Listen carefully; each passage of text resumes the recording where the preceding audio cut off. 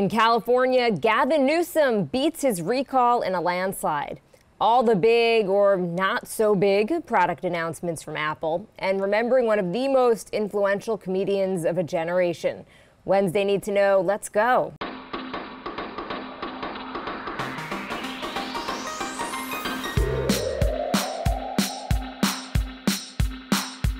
Good morning. This is Cheddar's Need to Know podcast for Wednesday, September 15th. I'm Jill Wagner with Carlo Versano. Hi, Carlo.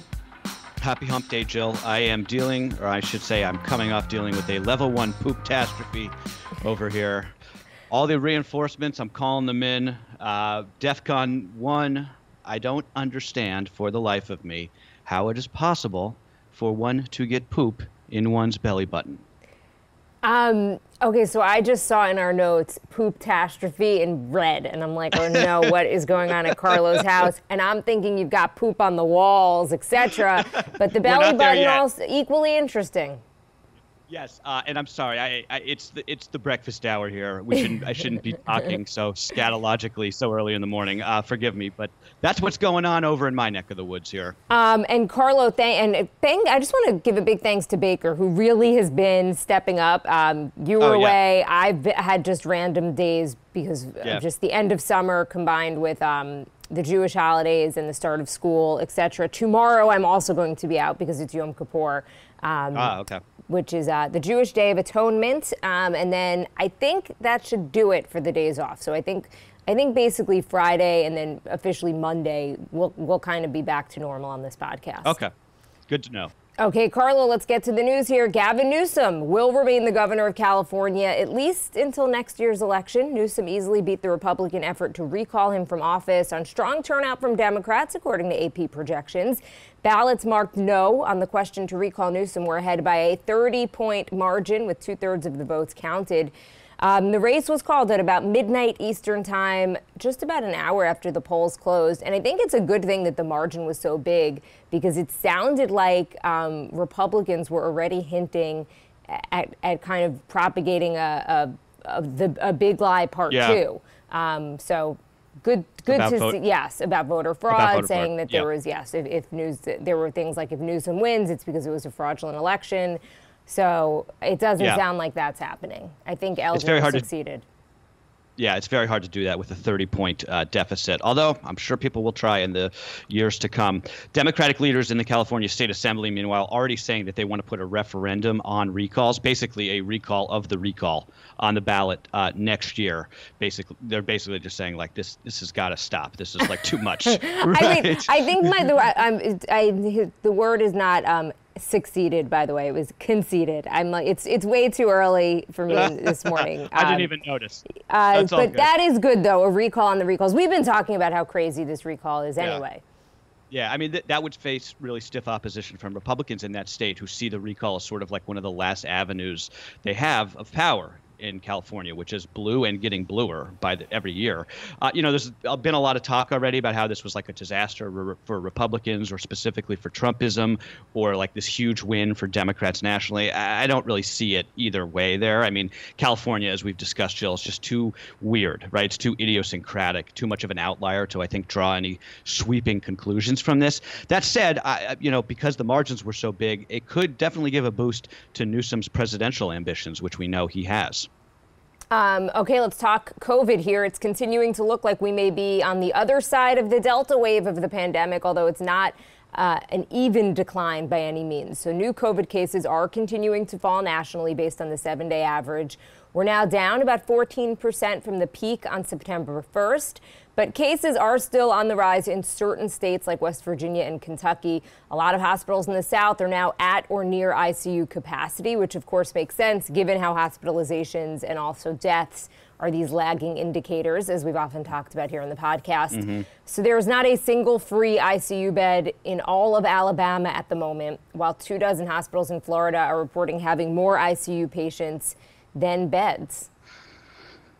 God, that's crazy, isn't it? Amazing. 18 months into this. Uh, meanwhile, I just wanted to mention this, and not as any reason to like eh, make fun of or anything, just because it's news. You know, another conservative anti-vax radio host has died of COVID. Bob Enyart of Denver. Uh, this guy was infamous out there for mocking AIDS patients and suggesting the death penalty for women who have abortions. He succumbed uh, to the coronavirus. He is the fifth right-wing radio host to die in six weeks. I mean, that's become like literally one of the most dangerous jobs in America. Uh, just once more for the people in the back. The coronavirus does not care about your politics. It only cares if you have a respiratory tract, right? Um, I also wanted to mention quickly about a timeline on vaccines for kids. Pfizer's mm. CFO was talking to a conference at, at Morgan Stanley, according to CNBC. Um, he basically said they're expecting results for kids aged 5 to 11 by the end of September and then the plan would be to file for emergency use authorization in early October. Okay, so now if you're sticking with that timeline, it takes about three to six weeks for the FDA to review um, the data and then approve it. So if you do the math, we're talking potentially November for vaccines for, for young mm-hmm. kids, mm-hmm. 5 to 11. And then some new info, which we'd not heard about um, vaccines for even younger kids, toddlers. Pfizer CFO saying kids six months to five years. That data is only about a month behind the other data. So potentially, if everything goes well and, and it, it is proving to be safe, mm-hmm. we're looking at potentially December for when vaccines could be available for the youngest kids um, which is a game changer. So, big time. But as you mentioned yesterday, I think it was it was yesterday on the podcast. The big question here is if parents do get their kids vaccinated. Mm-hmm. Um, you know, I think even parents who were gung ho to get themselves vaccinated might be weary of getting their kids vaccinated. So we'll see. I, I mean, we don't know yet. Yeah. Depends, I no, think, how bad think, it gets in terms right, of the Delta exactly. wave. I think this is going to be one of the big questions this fall and winter for sure. Uh, meanwhile, uh, poverty actually declined in the United States last year during one of the biggest shocks to the economy and the labor market in history. This is according to new census data that shows the percentage of people living below the poverty line hit a record low in 2020, even as the pandemic wiped out millions of jobs. The massive amounts of government aid in the form of stimulus checks and other reliefs uh, benefits uh, appeared to have helped avert a much worse recession. This is this is really um, quite remarkable. I mean, we sort of knew this was the case, but the census data tells us for sure now. One round of stimulus checks, those first stimulus checks that President Trump uh, sent out early last year, it cost 500 billion dollars, and they lifted 11.7 million people out of poverty, according to the census. Wow, that's amazing. That is money well spent, if you ask me. Um, though we should note at the same time, that same census data shows that median household income fell last year by close to 3%. That's the most significant decline since 2011, when we were still digging out uh, from the Great Recession. Um, as expected, Apple announced its newest line of iPhones featuring slightly bigger screens, better cameras, and faster processors. The iPhone 13 design is more or less the same as the last model, as is the price. Apple also unveiling a new entry level iPad and an updated iPad mini and a new version of the Apple Watch with a bigger display. The rumors that uh, the next gen AirPods would be announced, that did not come to pass. Um, I was looking forward to an AirPods announcement. Um, but it's yeah. basically like the big news here is that there really wasn't a lot of big news.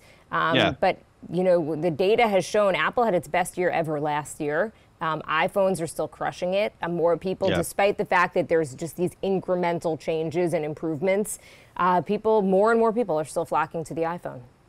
Yeah, and the Apple Watch is really fascinating to me because it would be it's like there's it's Apple's like smallest product line by far, but it would be I forget what the numbers are, but it makes like hundreds of billions of dollars a year. It would be like the biggest product of for any other company just by itself. But the Apple Watch, I have to say, I, I and tell me if I'm wrong here, but it's something it's one of those things that I just do not understand. To me, it is such an unappealing product. I and but but at the same time, I see so many people who use them, so there must be some kind of purpose. But it just seems like every everything you can do with an Apple Watch, you can do with an iPhone, and it has the benefit of not looking so corny, in my opinion, at least. I, I think that the, the appeal for the Apple Watch has a lot to do with health and fitness in terms right. of monitoring heart rates and things like that. And Apple is doubling down on fitness. They they another piece of news that came uh, out yesterday is they're kind of expanding their offerings in their um, Apple Fitness Plus app. Mm-hmm. Um, They have group workouts. Again, they monitor your health. I think that that's part of the appeal with the watch. Um, you don't have one of those, do you? I, I have one actually. Uh, I just don't wear it which yeah. and my husband bought it for me and he's like every once in a while he's like what's up with the apple watch and at this point it's old at this point I, I, guess i would need a new one um, but yeah i mean i think also younger people love the watch and my really? um, niece and nephews who are younger they wear they they have wearables i don't know if it's an apple right. watch but like they always are checking their steps you know yeah. which is just fascinating because I, I, think I, when you're older, never, you're like not. yeah. I, I, think it's a harder. Um, it's harder to convince people to wear yeah. wearables. I mean, I'm out of the zeitgeist at this point. I, I so yeah, I, I, get that. I'm just, I don't want more computers on my body. I guess the phone is good enough for me. Um, okay, top executives at Facebook have come to the conclusion that Instagram is harmful to a significant percentage of teens Girls in particular, that according to internal studies leaked to the Wall Street Journal. According to the journal, the research shows that Instagram's Explore page is particularly well suited to exacerbate feelings of inadequacy. According to Instagram's own analysis, quote, we make body image issues worse for one in three teen girls. Reading from the journal article, quote, among teens who reported suicidal thoughts, 13% of British users and 6% of American users trace the desire to kill themselves to Instagram. The app has experimented with ways to tackle this issue, like hiding the counts uh, on posts, but found that those sort of fixes really didn't have much of an effect. Basically, um, the basic mechanics of the photo sharing app are what makes it so potentially harmful to teenagers. Uh, frightening. And also yeah. frightening just what it's doing to kids, and frightening that kind of Facebook knows this and it's just kind of in it the lies, acceptance uh, phase of yeah. it. I don't know. Well, and they spin it uh, to talk about how it's actually this great thing. Don't forget, Facebook is still working on an Instagram for kids. They're still trying to do that. I, it's, it's. I mean, my blood is going to start to boil. It actually really almost started to boil when you were just reading this, even though I read this whole piece in the journal yesterday. Um, I just it makes me so angry. It really does. In one of Facebook's own studies of teenagers, more than 40% of Instagram users who reported feeling unattractive said those feelings started when they were using the app. I mean, that's just so sad. And if you're wondering why there seem to be so many of these stories lately, specifically about Facebook and what Facebook is sort of doing to society, that's because that company is leaking like a sieve, right? Which it's just Facebook employees are leaking internal documents to the media, which suggests to me, at least, there's a lot of people employed at that company who know that what they're doing, however well intentioned it may be, is having a deleterious and negative effect on our society. So instead of quitting, it's hard to quit. That's a very good place to work. They have amazing benefits. I know people who work there. The the the culture is it, people like it and they pay really well. But instead of quitting, these people are just leaking to the media, which I think makes them feel better. But we we got to do something about this. Is this and maybe I'm just speaking as a new father, but I just I mean, it's just how how could we let this happen to our kids? So I've thought a lot about this because I, I, read the article as well. Um, and of course, we both now have young daughters. Yeah. And part of me just feels like it's, it's just, I don't know if it's anything so specific to Instagram. I think that we're going to find out. My guess would be that we're going to find out that probably TikTok down the line is also mm-hmm. having this. Maybe. I don't know. I mean, maybe sure. there's yeah. something different about the TikTok experience because it's a little it's more maybe fun with videos yeah. and, and whatever um, but i just think we it's human nature right like i mean like in ter- yeah. everything on social media just exacerbates human nature right so are we as political in person as we are on social media no because we just kind of no, go to exactly, our worst right. instincts um, right and I, I thought about this and it's like it's like this is going to sound so crazy but i was i had to go I seldom am, am, at big events anymore, and I seldom see mm-hmm. people really that, unless I plan on on seeing them if they come over we, or a play date, etc. And I took my daughter to this big soccer class the other day, and I didn't know anybody really there. I knew a couple people, and I I was seeing all these moms, and like I finally feel like I've gotten the parent thing down, like the working parent thing, and I'm feeling good about myself. I've also started to work out. I'm feeling better in general yeah, about my life. Good for you. Um, and I went to this to this class And I just saw like all these moms in their trendy new jeans and they looked so cute and they all knew each other and every and I have never felt worse. My daughter wouldn't a do wouldn't do the class. Okay, she was like, I'm right. I, not for me. I want a snack and I want to sit in the shade. Totally cool. Um, and then that. I was sitting there in like my sweatpants and my t-shirt, and I'm looking again at these moms in these trendy clothes. So I think, you know, I, the the point of this story isn't woe is me. It was more like, you know. Yeah. Instagram just brings that home to you, right? Exactly. So that feeling, I Bingo. left there just being like, get me out of this place I, I never, my husband is now going to take my daughter to this class. I'm never going back. Um, and it, I, part of it was, it, I was com- obviously, it's human nature. I'm like comparing myself to all these other people. Right. Um, and again, I think that that's just, it's human nature. Um, it plays on our own insecurities. And we're right. sitting at home, instead of going out and you can eventually leave, you've got your phone attached to your hand, and you're unfortunately bringing these images into you know, in, in, basically invading people and especially young people with these images 24 7. And I'm a grown woman. I'm an adult. Right. I have thick yes, skin. Exactly. I've been in the TV business for years. I've heard everything. um, you know, people, I, you know, again, I have very thick skin and a pretty good self esteem. But, you know, I, I get it. I, I, feel, I feel for these kids. No, I totally, Jill. And I mean, I remember having those feelings in high school right? But the thing is, when high school's over, you go home and you don't really think about all the people who like made fun of you or bullied you the rest of the day. Now you just see it all day long. To your point, and that's the thing. It's just these AI algorithms that just exacerbate the worst of human nature, and we have to figure out a way to tackle it. That story was just so botched, and I hope that didn't go on forever. And I know we're we're running out of time, but it's just. Um, I really feel for these kids, and I, I, don't know what the answer is because the genie's out of the bottle. Social media yeah, is right. here. Um, and we are by nature, that's what we do. We compare ourselves to other people and, and I don't know if it's working in, on building up kids' self esteem. Like, I don't know if that's the answer because I don't know if you're going to be able to fix social media at this point. Yeah. Um, and before we go, I just want to mention this huge loss in the comedy world. Norm Macdonald has died after a really long and private battle with cancer at the age of 61. Macdonald came up on the Canadian stand up circuit before he landed a coveted gig on Saturday Night Live in the mid 90s, where he became the influential host of Weekend Update. His routine became famous for how hard he went um, on the OJ on OJ Simpson during the trial, despite the reported displeasure of NBC execs. Macdonald always claimed he was fired from SNL because he wouldn't stop calling Simpson a murderer, even after the head of NBC at the time told him to tone it down a true one of a kind, uh, a master of deadpan deadpan comedy. Macdonald, beloved in comedy circles.